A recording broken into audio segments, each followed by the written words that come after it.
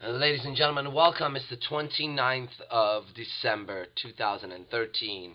It's coming to an end, and that doesn't mean anything to a person like me because uh, it's just a made up calendar. But we have to record these moments of our lives for future people so they know when this was done so they have it in the right context, okay? But, anyways,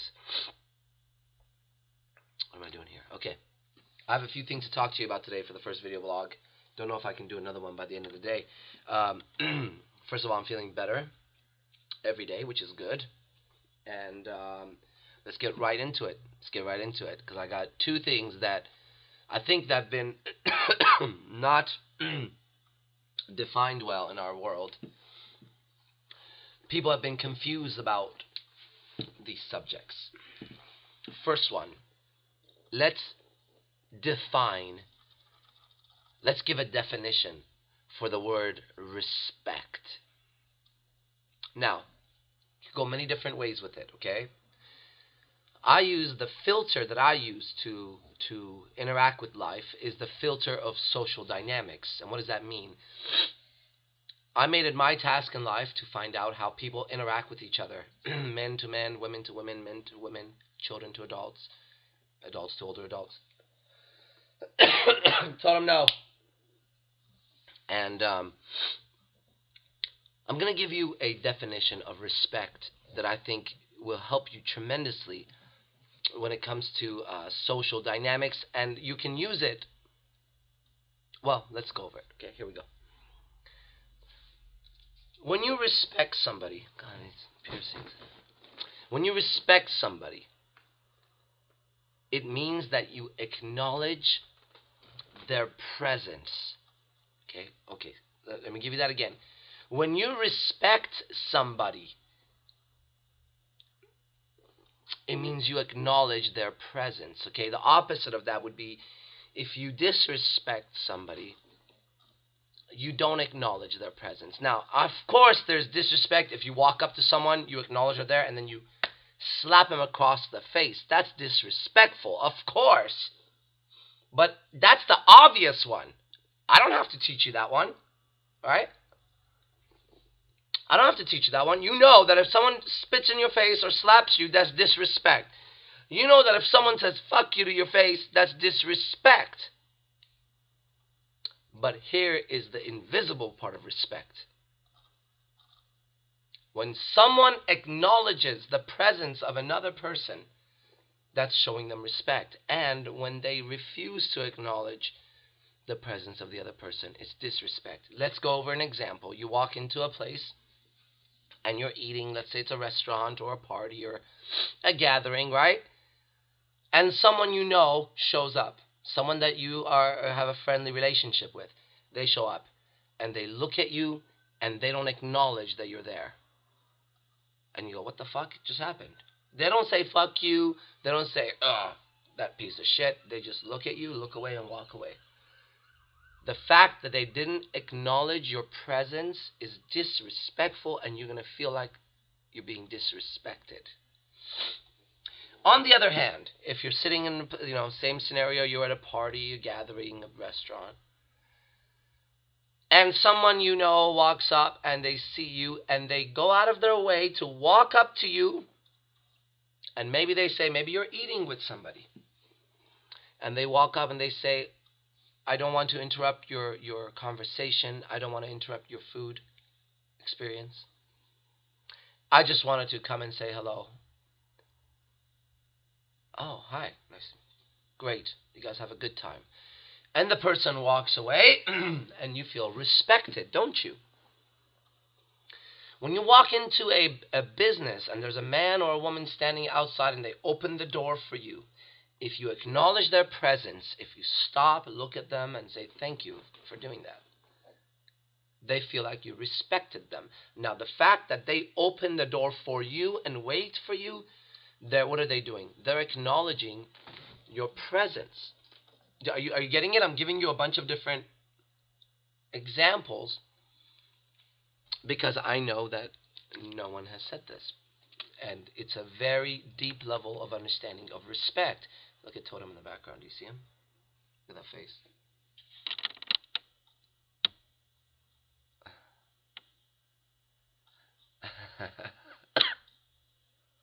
okay, keep going, Rosh.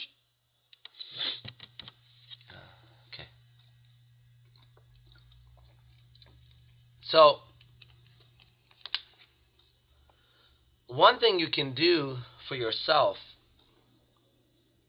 if you want to hit that invisible part of respect, and when I say invisible, it's the part that's missed by the human eye, okay? And it takes that third eye to see it. Is you acknowledge the presence of somebody. And the opposite is true. Now, let me let me let me let me tell you something that people that know me really well know know this about me. Every once in a while, somebody ends up at my one of my academies that I I just don't like their attitude, right? Right from the beginning, right from the beginning. And it could be a student of mine that I already like, but then they they say or do something disrespectful, or maybe they don't. Maybe it's a staff member doesn't do their job. As I teach and I walk around, I make a point if I don't like somebody to not acknowledge them. You're like, well, no, look, let, let me explain something to you, okay? Let's go a little bit deeper into this respect. Now, you have to acknowledge, if you want to get a better understanding of this, you have to acknowledge people for who they are also. So if you're standing in front of a king or a president of a country, you have to acknowledge the presence of a king, the presence of a president of a country. You can't just acknowledge him the same way that you would acknowledge a janitor and I know people, some people, you know, and, and if you're thinking this right now, you have a you have a warped view of under, a warped understanding. You, you've been miseducated. Some people go, well, there is no difference between a janitor and a king or a president. Uh, yeah, there is actually. There's a, a, a big difference between them. Okay, one is responsible for keeping clean the area that the janitor keeps clean, and the king or president is responsible for running a country, which includes all the people in it. Okay? And you're only as valuable as you serve others. So there's a big difference. So the next level of respect is you acknowledge people and you acknowledge them for their value of who they are. And now you go into a deeper level. Deeper level of respect. Okay, let's give you some examples of that. Let's give you some examples of that two people don't deserve the same level of respect. That's Sphinx in the background, looking at alcohol. Well, you gonna get drunk, Sphinx? What are you doing? Hmm? Two people don't deserve the same level of respect. Your mother or your father, if they've been a good mother and father for you, deserve a different level of respect than a stranger man or a woman of the same age. Why? Because your mother or father has given you a tremendous amount of value in your life, and a stranger hasn't yet. So you have you have to you have to take into consideration who it is that you're acknowledging the presence of. And the problem that we face today is that people are disrespectful all around. All around. I bet, whatever time you're watching this video, that so far today you have been disrespected at some point, but you didn't even recognize it. Why? Because it's rampant. What do I mean by that? Somewhere today, when you came across other people, they didn't recognize you, they didn't acknowledge your presence. They looked right past you. And you think that's not rude? I think that's very disrespectful. If I walk down the street, somebody's walking past me, I will say hello. That surprises them. Here's a guy with two pit bulls walking like this, but I will say hello and I, I, I calibrate with a smile if it's an older person or, you know, if it's like a young, tougher guy, just what's up. But, you know, whatever it is, I acknowledge there's a presence in front of me. I do my part, right? I'm gonna I'm gonna acknowledge another human being. There's the fact that there's a, another human being there, and I will start off by giving them the the basic level of respect, which is you're there and I'm here. Hello. From there, the game begins. How much respect? Okay, now, the big theme. Look at Sphinx in the background. What a good-looking beast. You talking about me? What are you talking about me? You see, that's me tilting my head. I mean, okay, here I go. Right now, Electra watching this laughed, and Serena watching this laughed. Guaranteed it. And they laughed again when I said that. okay, Sphinx, I was talking about you. Respect is proper acknowledgement. Now, to the degree that you can properly acknowledge the people around you, to that degree they will feel a good vibration towards you and they will feel that you are a respectful human being. if a young man of six years old or five years old or a young lady of five or six goes into the family party, walks up to grandpa or grandma or the older people and shakes their hand and says, Hello, grandma, hello, grandpa, want to say hi to you first. That will just floor, floor the environment.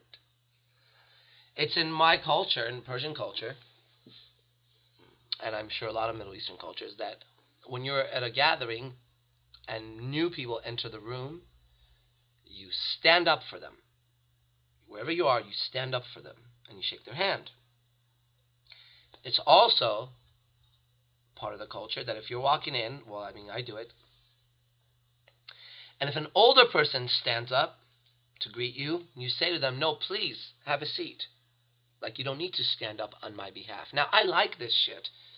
It's not phony to me. See, I can't stand phony respect. I can't stand phony anything. Oh, I like phony boobs. Fake boobs. that's nice. But that's different. Fake nails, fake hair, fake boobs. Whatever. Okay. But the point is, there's a pleasant feeling when you are respected for who you are. One of the one of the things that I get sometimes, I think I talked about in a bonus piece one time. Sometimes people will hit me up, and they'll be like, Well, I'm not one of those fans that thinks you're, you know, you're like a god or something. And they expect me to answer them. I consider that disrespectful. Okay?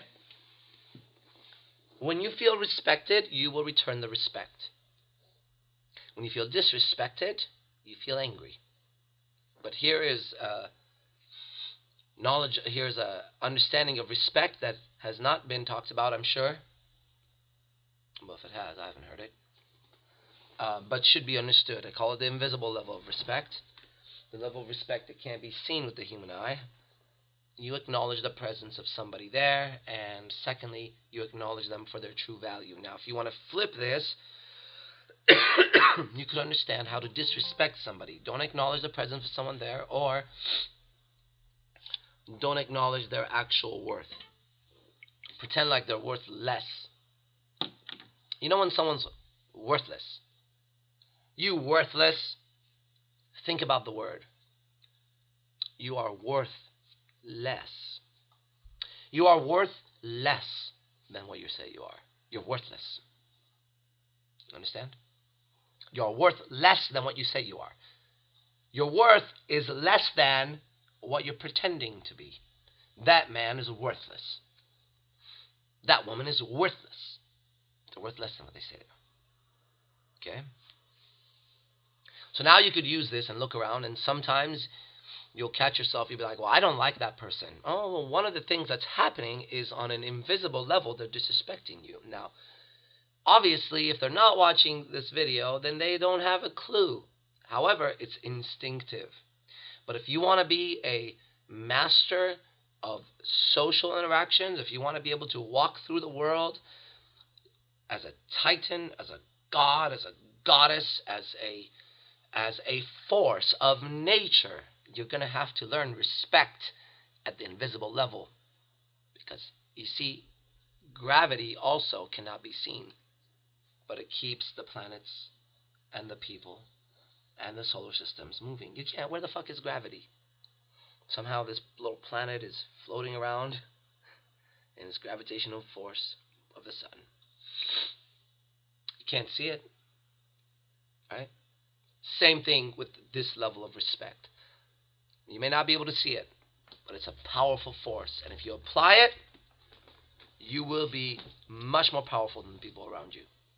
And that's a good thing. And that's a good thing. Because if you're going to be powerful, you might as well earn that power through respect. Then no one can argue with you.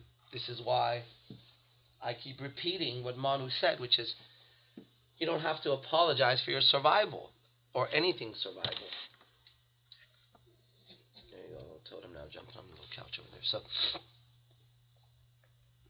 so you don't have to apologize if you're powerful because you're respectful and people like you because you understand how to show the proper respect and how to demand the proper respect. Now that's that's another subject. Don't get caught up in what I just said. As I said it, I realized that some people are going to get fucked on that one. You don't demand proper respect if you haven't earned it. Now we'll talk about that another time. So just stick to what I said. Stick to what I said. Erase that in your head, okay? If you know how to show the proper respect, your level of power will increase dramatically. And I know anybody watching me is interested in power and freedom and beauty because those are the three things that I dedicated my life to. Okay?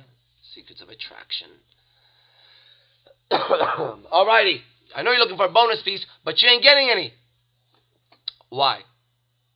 I don't know. Don't feel like ranting. See you in the next blog. Peace.